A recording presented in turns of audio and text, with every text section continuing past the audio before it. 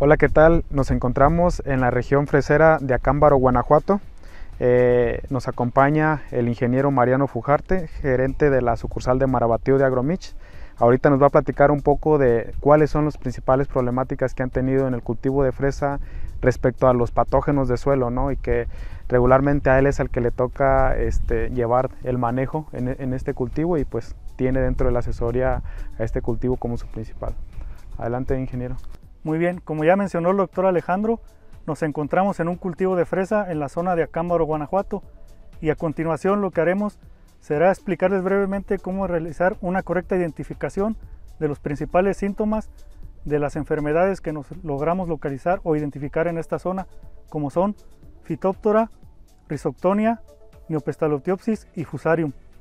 Y como podemos observar aquí este, los principales síntomas de las enfermedades que se mencionaron hace un momento los podemos identificar claramente aquí en campo.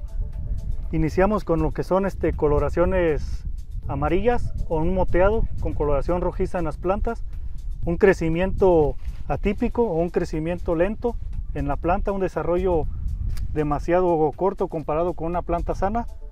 También podemos observar ya síntomas más fuertes lo que son coloraciones completamente rojizas y ya en síntomas mucho más graves podemos observar un colapso completo de la planta, plantas completamente secas, incluso aquí se puede observar este, un ahorcamiento o un ahogamiento del cuello de la planta, lo que dificulta el transporte de agua y nutrientes hacia la parte aérea.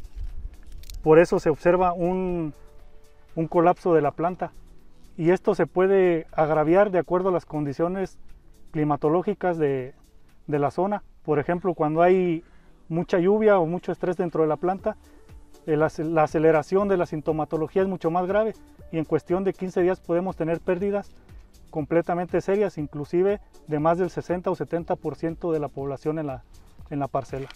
Eh, sí, algo que, también se debe tomar en cuenta es llevar a cabo una correcta identificación del problema al tiempo este, cuando nosotros empecemos a notar los primeros síntomas, pues recurrir a un diagnóstico ¿no? para detectar cuál es el principal patógeno que se está presentando y si es posible también eh, realizar diagnósticos desde la plantación ingeniero, desde que traemos la plántula, también debemos de hacer un análisis para ver eh, de qué vamos a partir, sobre qué vamos a iniciar y qué, posible patógeno ya trae esa, esa plántula.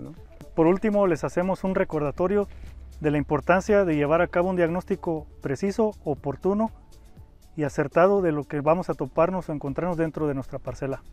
Claro, llevar a cabo una correcta identificación de los patógenos que ya nos mencionó el ingeniero, pues nos va a ayudar a bajar un poco el impacto de este tipo de, patógenos. Eh, los invitamos también a que se acerquen a nuestras diversas, sucursales para llevar un manejo mucho más preciso de este tipo de cultivos e invitarlos también a nuestro siguiente video donde hablaremos un poco este, de un nuevo servicio que estamos adoptando en convenio con la empresa Solena respecto al Centro Molecular de Diagnóstico Agrícola.